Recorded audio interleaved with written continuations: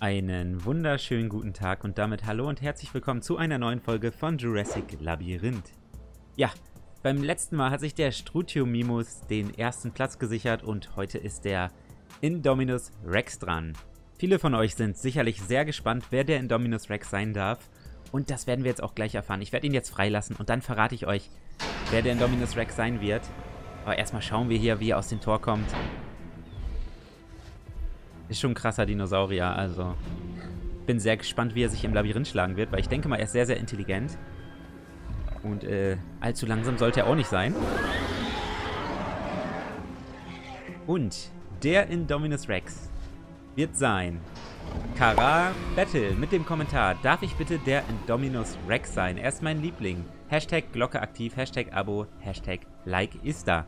Ja, damit bist du der Indominus Rex. Herzlichen Glückwunsch auf jeden Fall. Und ich bin Danny natürlich um, bevor ich es wieder vergesse. Kara unterstrich Battle. Ich hoffe, ich habe es richtig geschrieben. Ja, habe ich. Und ich bringe euch dann zurück, sobald der Indominus Rex dann sich satt gefressen hat und genug getrunken hat und dann im Labyrinth landet. Bis gleich. Der Indominus Rex wird jetzt hier eingeflogen, landet jetzt gleich und dann geht es auch schon los für ihn. Wir können nur hoffen, dass er jetzt gleich möglichst lange hier im Eingangsbereich bleibt, damit das Essen, also die Nahrung und das Trinken möglichst weit nach unten sinken, damit er einen höheren Anreiz hat, ins Ziel zu kommen. Aber ihr seht schon, die Geborgenheit ist bei 81% und geht weiter runter. Das liegt daran, dass er natürlich voll unzufrieden ist hier mit seinem Gehege. Aber ich würde sagen, ich bringe euch zurück, sobald er dann hier sich ins Labyrinth wagt. So, es ist soweit. Er geht jetzt Richtung Labyrinth Eingang. Und ihr wisst Bescheid, Leute. Die Zeit startet, sobald er mit dem gesamten Körper, das heißt meistens die Schwanzspitze, über den Labyrinth-Eingang ist. Und das ist jetzt der Fall. Die Zeit startet. Und damit geht der Run für den Indominus Rex los. Und er geht hier erstmal direkt in die falsche Richtung, in eine Sackgasse. Das ist ganz und gar nicht gut. Wir können jetzt hier nur hoffen, dass der Indominus Rex hier umdreht, damit der liebe Kara eine gute Zeit ähm, erzielen kann. Aber ich werde mal den Zeitraffer aktivieren auf jeden Fall und dann schauen wir mal, wie lange er sich hier dann aufhalten wird in der Sackgasse. Okay Leute, ihr seht schon, die Zeit läuft und läuft und läuft. Wir haben jetzt hier gleich schon fast eine Minute rum, also das ist hier wirklich Zeitverschwendung pur. Er geht jetzt hier noch tiefer in die Sackgasse hinein, irrt herum, schaut mit dem Kopf schon förmlich durch die Wand. Aber hier geht wirklich, wirklich viel kostbare Zeit drauf. Wir können jetzt nur hoffen, dass er hier umdreht. Er geht jetzt auf jeden Fall wieder Richtung, richtige Richtung. Wir schauen mal kurz hier vorbei bei ihm. Und ihr seht schon, ja, er steht hier rum, äh, atmet laut. Essen, trinken ist aber schon ein Stückchen runtergegangen. Also es könnte sein, dass er jetzt hier gleich loslegt. Ich hoffe es mal für dich, lieber Kara. Aber ich mache jetzt auf jeden Fall den Zeitraffer mal wieder an, zoom hier mal wieder raus und dann hoffen wir mal, dass er sich jetzt hier entscheidet, Richtung Ausgang zu gehen. Aber wie ihr seht, entscheidet er sich hier komplett falsch. Er geht wieder zurück in den Eingangsbereich. Die Zeit startet aber jetzt nicht neu, Leute. Also die Zeit läuft hier gnadenlos weiter. Das ist jetzt, das war es jetzt komplett mit dem Indominus Rex. Also wirklich drei Minuten rum und er ist wieder im Eingangsbereich angekommen. Also er ist hier völlig verwirrt, Leute. Und jetzt bewegt er sich hoffentlich wieder Richtung Labyrinth. Ja, das tut er. Hat jetzt auch sehr viel Zeit verschwendet. Vier Minuten rum und es geht jetzt sozusagen wieder von vorne los. Aber diesmal läuft er nicht in die Sackgasse. Das ist schon mal sehr, sehr gut. Er läuft hier auf jeden Fall in die richtige Richtung. Wir können jetzt auf jeden Fall die Daumen drücken, dass er sich jetzt hier nicht nochmal verirrt oder gar umdreht und nochmal in den Eingangsbereich zurück will. Wir spulen hier auf jeden Fall nochmal ein bisschen vor und ihr seht, er bleibt zwar ab und zu stehen, aber er ist jetzt wirklich sehr, sehr zielstrebig in Richtung Ausgang unterwegs und hat jetzt hier auch gleich die Hälfte des Labyrinths hinter sich gebracht, hat er jetzt schon, nach ja, fünf Minuten. Ist jetzt nicht die beste Zeit, aber das kommt halt, weil er am Anfang so viel verschwendet hat. Aber er geht jetzt hier wirklich fehlerlos durch das Labyrinth. Hätte er das mal gleich von Anfang an gemacht, dann wäre das hier wieder eine Top-Zeit gewesen. Aber sehr, sehr schade für dich, lieber Kara.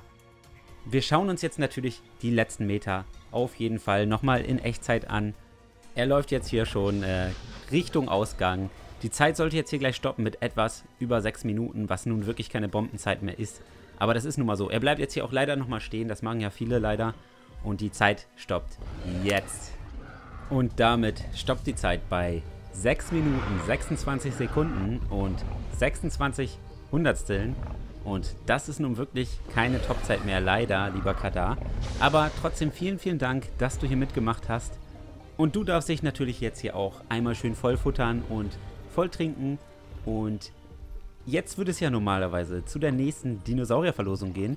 Aber mir schwirrte gerade noch was im Kopf rum. Ich würde gerne mal wissen, das machen wir jetzt gleich mal ganz schnell im Zeitraffer, welche Zeit der Indominus Rex erzielt hätte, wenn die Zeit erst beim zweiten Mal gestartet wäre, wo er dann das Labyrinth betreten hat. Und das schauen wir uns jetzt mal ganz schnell an.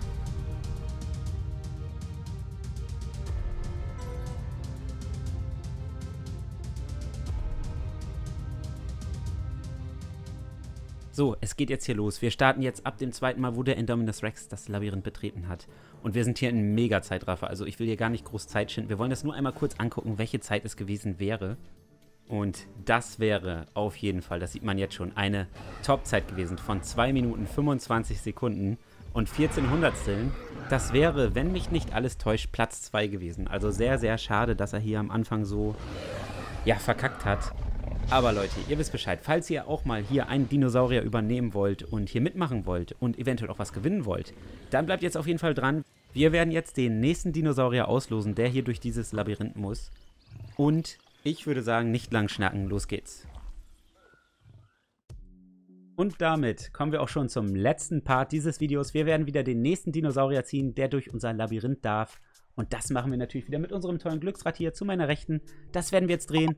Und dann schauen wir, wer der nächste Kandidat sein wird. Und das ist der... Uh, sehr interessant. Edmontosaurus. Der ist auf jeden Fall sehr, sehr schnell zu Fuß unterwegs. Und äh, kann deswegen, denke ich, auch eine sehr, sehr gute Zeit hinlegen.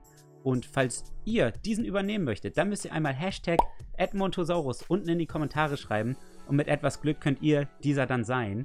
Und das war es jetzt auch schon mit dem Video, Leute. Falls euch das Ganze gefallen hat, würde ich mich sehr über ein Like freuen. Und wenn ihr nichts mehr verpassen wollt, dürft ihr gerne kostenlos abonnieren und die Glocke aktivieren. Und damit verabschiede ich mich, Leute. Vielen, vielen Dank fürs Zuschauen. Macht's gut, bis zum nächsten Mal. Euer Dandy.